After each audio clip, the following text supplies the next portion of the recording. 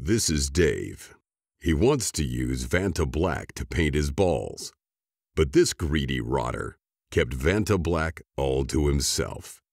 So Dave can't use Vantablack. But this artist said, I'm creating my own black that's super black and super matte. And I'm going to share it with the world. Look at that, Dave. Isn't it an incredible material? Your balls are looking great, Dave. I think Dave's happy with his balls, don't you? The blackest black. Stuart Semple's Black 3.0. Yours from CultureHustle.com.